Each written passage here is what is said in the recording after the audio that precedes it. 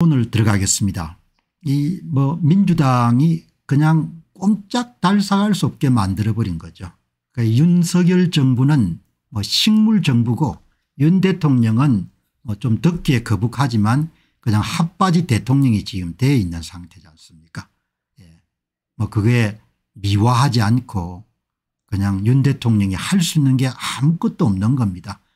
제가 여러분들 좀 예, 그냥 더 직설적으로 이야기하게 되면은 퇴근하시고 집에 가면은 강아지는 키울 수 있겠죠.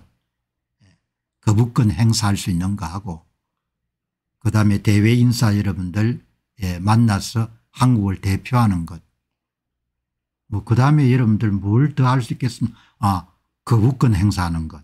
그거 외에는 대통령이 할 수 있는 게 그냥 거의 없는 상태가 지금 돼버린 거지 않습니까 예. 결국은 이제 이재명 지금 후보의 22대 국회의 제1차 예, 그 발의안 전 국민에게 25만 원씩 상품권을 나눠주는 것. 예. 이게 여러분들 국회 본회의를 통과했고 야당은 그냥 다 퇴장해버렸고 그다음 또 대통령이 거부권 행사하겠죠. 뭐. 예. 그렇게 지금 돌아가는데 1인당 25만 원에서 35만 원 그러니까 결국은 한국은 이렇게 마지막까지 아마 갈 겁니다. 마지막까지. 그래가지고 나중에 터져가지고 예, 급전을 그냥 구하, 구하기 위해 가지고 중국도 갔다 오고 일본도 가가지고 외환위기 IMF 때 마찬가지로 예, 그러니까 이 뭐 뭐 민족성인지 뭔지는 잘 모르겠는데 예, 지금 재정 상태가 어마어마하게 안 좋지 않습니까 정부가 지금 마이너스 통장을 한 95조 원 정도를 쓰고 있는데 세금 수입이 부족해 가지고 예, 이 민생회복지원금 지급을 위한 특별조치법안을 통과시킨 거죠. 예. 이제 국민의힘은 필리버스터를 강제 종료시키고 법안을 그냥 더불어민주당이 가결을 시킨 겁니다. 예. 그러니까 아무튼 간에 한 12조 8천억에 17조 9천억 정도가 드는 건데 그냥 조라는 것이 이제 보통 명사가 됐으니까 어마어마한 거죠. 예. 그래서 오늘 참 이 재난지원금을 지불하는 것에 대해서 예. 한 분께서 나라 돈으로 매표를 하는구나 미친 짓이 아닙니까 뭐 미친 짓이라도 어떻게 그걸 막을 수 있는 방법 자체가 없으니까 13조가 예. 어마어마하게 큰 돈인 거죠. 예. 그러니까 참 뭐 이제 오늘 거기다가 보면은 임기도 여러분들 시작된 지 이틀 만에 취임 이틀 만에 직무정지를 해버린 거거든요. 그럼 이제 이 사안이 헌법재판소로 넘어가 가지고 헌재에서 이제 그거를 판결하겠죠. 그 전까지 헌법재판소 판결이 나올 때까지 전번에 행안부 장관 이상민 장관처럼 직무가 정지가 되는 거니까 그다음 또 이제 방통위의 부위원장 김태규 부위원장도 또 이제 탄핵 소추안을 내 가지고 그렇게 하겠죠. 그죠? 예. 188명 가운데 찬성이 186명 반대가 1명 무효가 1명 예, 이렇게 됐네요. 예. 뭐 똑같은 패턴입니다.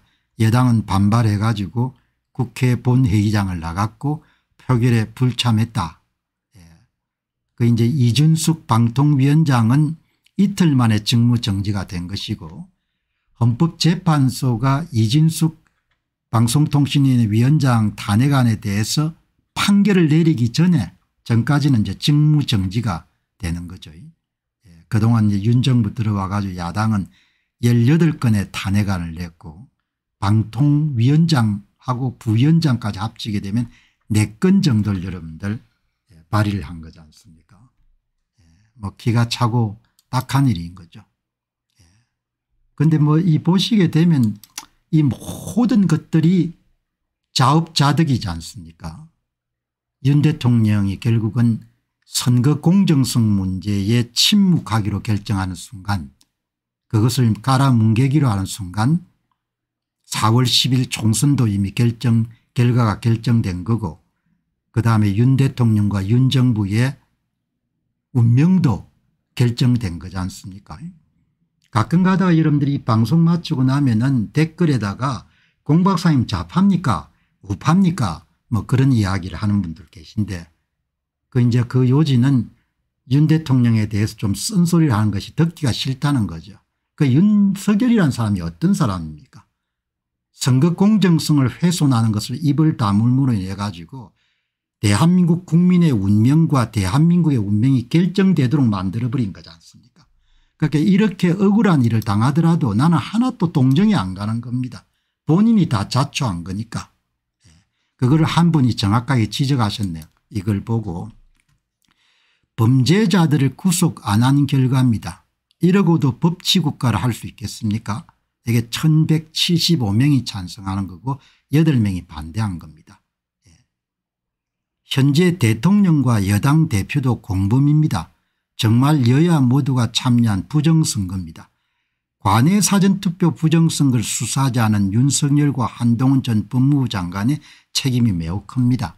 뭐 이렇게 직설적으로 사람들이 이야기하지 않습니까 물론 이 방송 보시는 분들 가운데 이걸 지금도 뭐죠 받아들이려고 하지 않는 분들이 계시겠지만 이제 이런 것은 지금 약과입니다.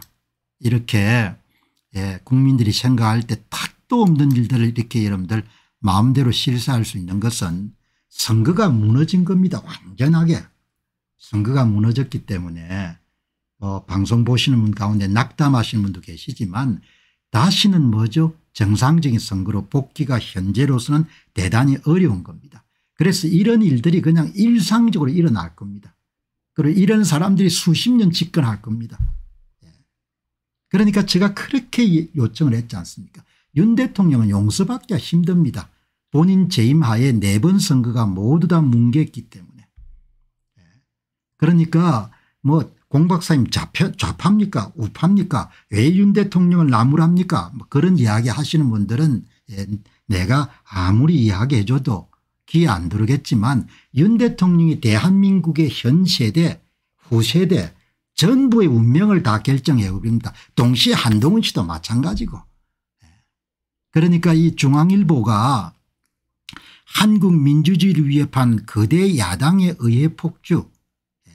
불법 증거 없어 반복하는 묻지마 탄핵 산업계 대혼란 야기한 노란봉투법 강행 상권분립 공화정신 훼손을 역풍 맞을 것 역풍을 무슨 역풍을 맞냐냐 선거 결과를 다 만드는데 에? 예?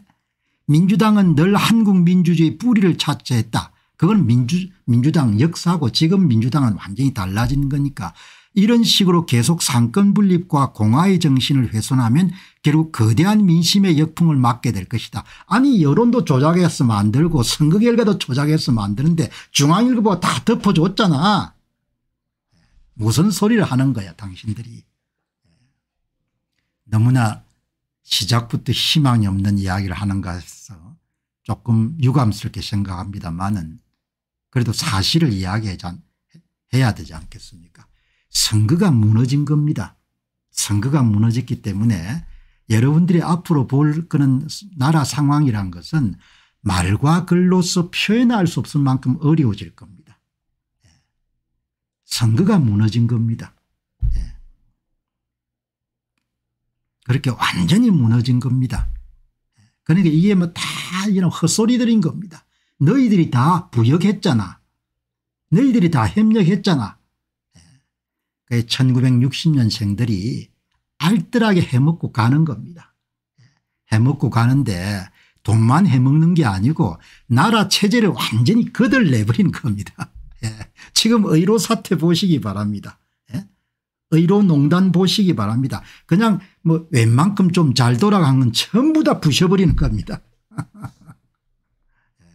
그러니까 오늘 제 이야기는 이런 거 보고 야뭐 어? 말이 되냐 이런 것도 분노할 수 있어야겠지만 어떻게 어? 지금 임기도 시작하지 않은 사람을 저렇게 할 수 있냐 뭐 이런 것도 다 좋죠. 필요한데 어떻게 민주주의를 그렇게 훼손하냐 예, 이렇게 하더라도 그 밑에는 뭐가 있냐 이야기야. 선거 공정성이 무너진 겁니다. 그거를 예, 볼 수가 없으면 은 자식들하고 그냥 고생하는 겁니다. 뭐 딴 게 있겠습니까 세상 일이라는 것이 본인이 개인적 선택을 하든 집단적 선택을 하든 선택을 하게 되면 은 거기에 대해서 반드시 책임을 져야 되지 않습니까 책임을 질 수밖에 없는 것이 인생이지 않습니까 그죠 예. 그런 것을 좀 더 정확하게 볼 수 있는 시민들이 많아야 된다.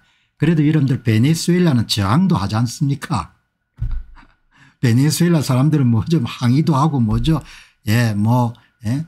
무슨 뭐 속 같은 거 갖고 나왔으면 두들기도 하고 그러지 않습니까 한국 사람들은 그냥 조용하지 않습니까 그냥 나라가 홀가닥 넓어간 겁니다.